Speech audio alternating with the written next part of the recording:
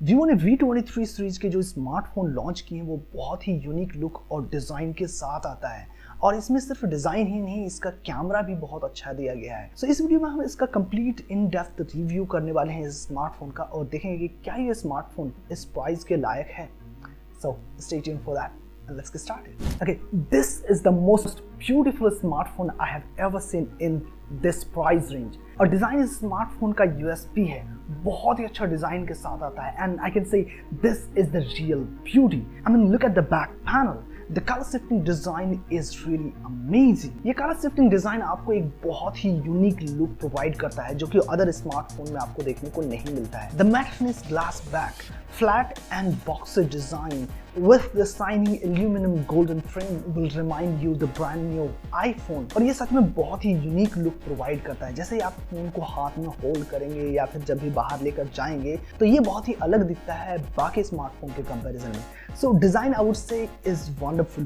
बहुत अच्छा डिज़ाइन किया गया है and up Vivo for this design. At least you people are bringing something new in the market. Now, let's talk about the display. Display smartphone आपको 6.44 inch की AMOLED display मिल जाती है। With 90 hertz refresh rate और साथ इसमें आपको H D R ten plus का support भी मिल जाता है। दैट मीन्स आप ओ टी कॉन्टेंट बहुत अच्छी तरीके से इंजॉय कर सकते हैं। बट नाइन्टी हर्ट्ज का रिफ्रेश रेट मुझे थोड़ा डिसअपॉइंटिंग लगा है। बिकॉज़ नाइन्टी हर्ट्ज का रिफ्रेश रेट आपको बहुत सारे दस हज़ार रुपये के मोबाइल में भी देखने को मिल जाते हैं। So out say there must be a difference between ten thousand rupees smartphone and thirty thousand rupees smartphone but overall the display is amazing. The color production of AMOLED display is really good. Video watching experience आपका बहुत अच्छा होने वाला है इस display के ज़रिए.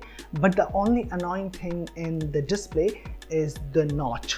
Notch आपको बहुत बड़ा देखने को मिल जाता है. बट जैसे जैसे आप इसको यूज़ करते जाएँगे over the time the notch will be completely disappear from your mind not from the screen but overall अगर देखा जाए तो डिस्प्ले मुझे ठीक लगा है प्राइस के अकॉर्डिंग ठीक ही डिस्प्ले दिया गया है। Now let's talk about the processor processor इस स्मार्टफ़ोन आपको मीडियाटेक डायमेंसिटी 920 का प्रोसेसर देखने को मिल जाता है, और ये एक 5G प्रोसेसर है, जिसमें आपको 12 5G बैंड देखने को मिल जाते हैं। दैट मीन्स फ्यूचर प्रूफ है, आप कोई भी 5G का सिम कार्ड आराम से यूज़ कर सकते हैं। आप इसमें पबजी वगैरह भी बहुत अच्छी तरीके से खेल सकते हैं। स्मूथ एक्सट्रीम विथ 60 एफ़ पे आप पबजी खेल सकते हैं। But if you are a truly gamer then please don't go for this smartphone because this is not a gaming centric smartphone आपको थोड़ी बहुत प्रॉब्लम देखने को मिल सकती है। Processor is very optimize it consume less battery provide less heating issue और work करता है बिल्कुल फ्लोलेसली कोई भी आपको जिटरिंग या लैग इशू देखने को नहीं मिलेगा आपको इस स्मार्टफ़ोन में। और डायमेंसिटी 920 का सबसे अच्छी बात लगी कि ये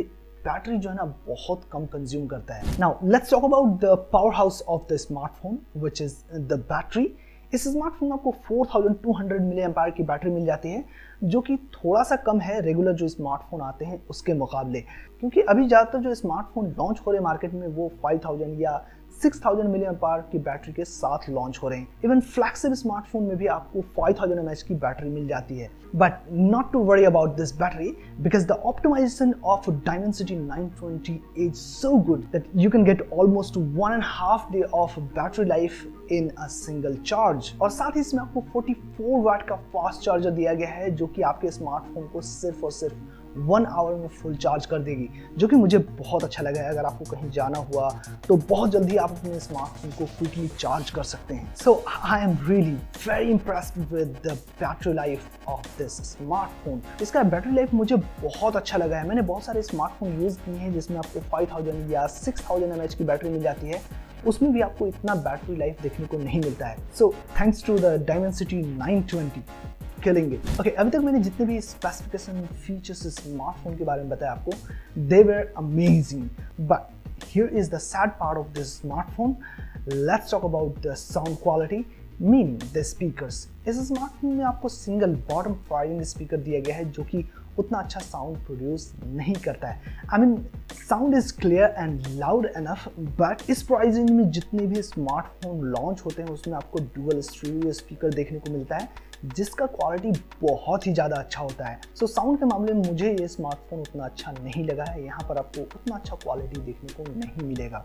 Now talk about the most important part of this smartphone which is the camera Vivo के जितने भी स्मार्टफ़ोन आते हैं ना उसमें आपको कैमरा और डिज़ाइन बहुत अच्छा देखने को मिल जाता है। स्पेशली द कैमरा कैमरे का क्वालिटी आपको इस स्मार्टफ़ोन में बहुत अच्छा देखने को मिलने वाला है। 64 मेगापिक्सल का इसका मेन कैमरा बहुत अच्छी तरीके से वीडियोस एंड फ़ोटोज़ निकाल लेता है।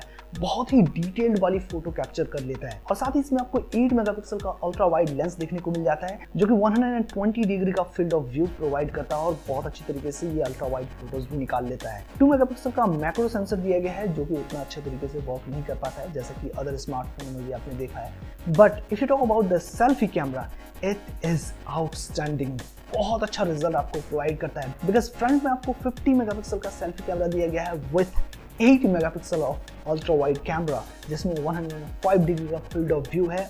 और ये कैमरा बहुत अच्छी तरीके से फ़ोटोज़ भी कैप्चर कर सकता है वीडियोस भी निकाल सकता है। और इसमें आप बुक के फ़ोटो यानी कि ब्लर बैकग्राउंड वाली फ़ोटोज़ भी बहुत अच्छी तरीके से निकाल सकते हैं।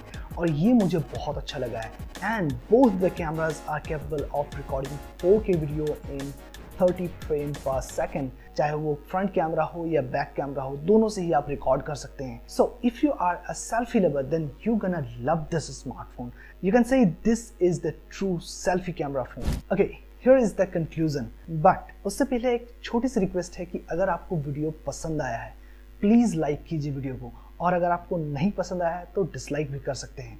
एंड सब्सक्राइब दिस चैनल ताकि इस तरीके के नए नए और इन्फॉर्मेटिव वीडियो मैं आपके लिए बना सकूँ।